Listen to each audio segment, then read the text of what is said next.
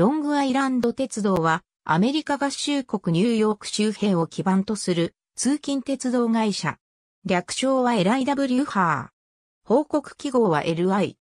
LIW ハーは、ニューヨーク州南部に位置する巨大都市ニューヨークを起点に、その東に位置するロングアイランド各地を結ぶ路線を運営している鉄道会社で NY 州内の公共交通を統括するメトロポリタントランスポーテーションオーソリティの参加にある。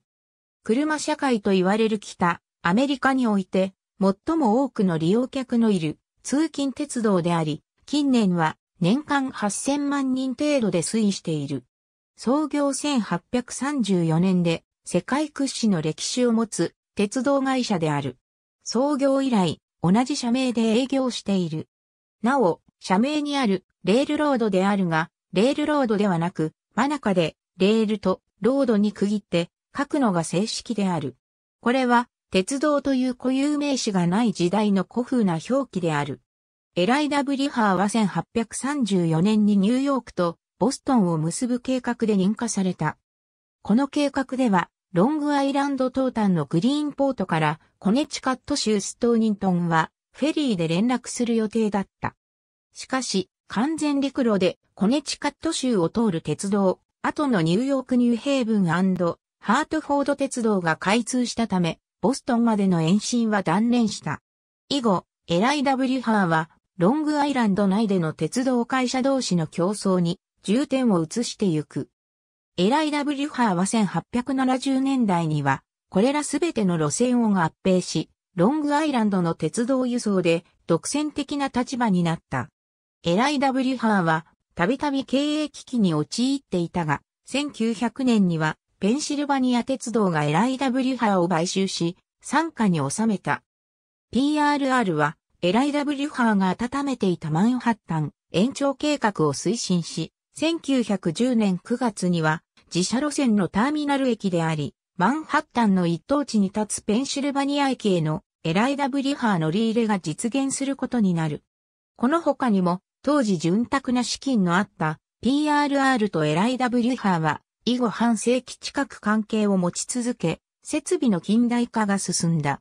第二次世界大戦後には、鉄道は車用産業となり利益は減る一方であった。苦しくなった PRR はエライダ・ブリハーの経営権を放棄し、エライダ・ブリハーは1949年に破綻、経営権は関西人のもとに移った。ニューヨーク州ではこの鉄道がロングアイランド島の未来にどれほど重要かを理解していたので、破綻してからずっと援助を続けた。1966年には PRR が持っていた株式を州が買い取り、新設した交通部門メトロポリタンコミュータートランスポーテーションオーソリティの参加に置いた。この組織は1968年にメトロポリタントランスポーテーションオーソリティと名を変え現在まで続いている。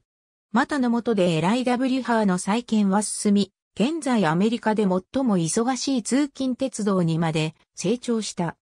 エライダブリハー路線図エライダブリハーは11の旅客路線を持つ、このうち特に長くロングアイランドの東端まで行く。長距離路線は2つあり、本線とモントーク支線である。特にモントーク支線は名前こそ、支線とつくものの、総延長 170km 余りと本線よりも長い。ただし、案内する上で一つの路線が複数の支線扱いされていることがある。例えば、本線は電化区間と非電化区間があるのだが、電化区間は電化区間の東端、ロンコンコマより、ロンコンコマ支線、伊東の非電化区間は路線の終点、グリーンポートよりグリーンポート支線と呼ばれたりする。ジャマイカ駅より西の区間はニューヨークの中心街であり、シティターミナルゾーンと呼ばれいくつかの都心側ターミナル駅を持つ区間である。この区間は本線、モントーク支線、アトランティック支線のどれかに属している。エライダブリハーは路線の西端、ニューヨークのマンハッタン区、ブルックリン区、クイーンズ区にそれぞれ一つずつ合計3つのターミナル駅を持つ。また、クイーンズ区にあるジャマイカ駅は多くの路線が集まる巨大な結節点になっている。将来的にはマンハッタンにあるグランドセントラル駅への乗り入れも予定されており、新たなターミナル駅となる予定である。現在では、通勤列車の運転ばかりであるエライダブリュハーだが、かつては多くの特別列車を走らせていた。その中には一等車だけで構成され、アルコールも提供する高級列車もあった。これらの多くは第二次世界大戦頃には廃止された。現在も残るのはザ・キャノンボール号のみとなっている。電化区間用に電車、非電化区間用にディーゼル機関車と客車を使用する。ディーゼル機関車はアメリカでは一般的なディーゼルエレクトリック式であるが、ディーゼルエンジンと発電機、主電動機の他に終電装置を持つものが一部にある。このタイプは電化区間ではエンジンを止めて電気機関車として運用することが可能で、排ガス規制のある都心部の地下駅への乗り入れを可能としている。このうち電車については、エライダブリュハーと同じくまた参加のメトロノース鉄道と概ね共通しており、カラーリングや内装に一部違いが見られるだけとなっている。電車は以下の3形式がある。いずれも2両1編成となっており、最短で3編成つなげた6両編成、最長で6編成つなげた12両編成で運用されている。2019年 M9 の運用が始まり、M3 は順次廃車となっている。製造は川崎重工が担当している。エライダブリュハーの運賃制度はいくつかの駅を一つにまとめたゾーン制で、同じゾーン内の移動は距離に関わらず均一、ゾーンをまたぐごとに運賃が高くなっていく仕組みとなっている。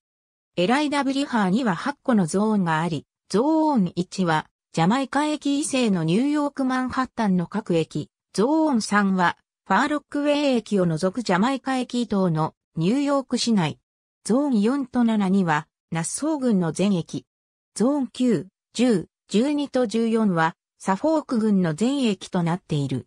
乗車券は乗車前に駅の窓口か自動券売機で購入できる。エライ W ハーの自動券売機は4種類あり、現金の他にもクレジットカードや ATM のカードで購入ができるが、青い券売機は現金での支払いには対応していない。この他に乗車まで余裕がある場合には、オンライン予約を利用することもできる。オンライン予約で発見すると若干安くなるが、この場合郵便物として自宅に届くため手元に来るのは2、3日後となってしまう。なお、送料は無料である。乗車券の種類は、ワンウェイチケットとラウンドトリップチケットを基本とする。これらはいずれも発売日から14日間有効と、日本の切符に比べ有効期間がかなり長い。各駅には改札口はなく、列車内で車掌が検察に来る。この時乗車券を持っていないと車掌がその場で発見するが、その場合、支払いは現金のみでやや高い運賃を払わされる。なお、この罰則規定は、お年寄りの地元住民、身体障害者、それに駅員がおらず、かつ券売機も設置されていない一部の駅からの乗車客には適用されない。平日通勤時間帯の運賃はピークフェアと呼ばれ、それ以外の運賃に比べて若干高めに設定されている。具体的には、ニューヨーク側のターミナル駅に朝6時から10時までに到着する列車と、同ターミナル駅を夕方4時から8時までに発車する全列車に対して適用される。これらの時間帯に列車を利用するときに、オフピークチケットしか持っていなかった場合は罰金を車内で払うことになる。子供運賃の設定もあり、5歳以下は時間帯に関わらず無料。5歳から11歳までは時間帯に合わせた大人運賃の半額、ないしは口述のファミリーフェアを適用する。この他に以下のように割引乗車券、制度が充実している。土曜日と日曜日に発売され、エライダブリュハーのニューヨーク市内が1日乗り放題となる乗車券で値段は3ドル75セント。使用当日に駅員か券売機で購入するのが条件で、車内での購入はできない。また、他の割引乗車券、制度との併用はできない。5歳から11歳までの子供が18歳以上の保護者を同伴でオフピーク時間帯に利用する場合に適用され、この条件下で子供の数が4人までの時、子供1人当たり75セントで乗れる割引運賃、制度。オフピーク時間帯の自動券売機で購入できる。運賃制度であるので、乗車券の種類で、ワンウェイか、ラウンドトリップを選んだ後で、ファミリーフェアと選択する。乗車校舎内で買うこともできるが、子供一人当たり1ドルとやや高くなってしまう。なお、同伴する子供の人数が5人以上となる場合は5人目以降は、普通の子供運賃で計算する。65歳以上の老人に対して適用される割引運賃制度で朝のピーク時間帯のマンハッタン方面域を除いた時間帯の列車にオフピーク運賃の5割引きで乗車することができる。メディケアカードや運転免許証等の年齢を確認できるものが必要。購入方法はファミリーフェアと同じく乗車券選択後にシニアズと選択する。日本でいう定期券に相当する乗車券でそれぞれ1ヶ月1週間有効。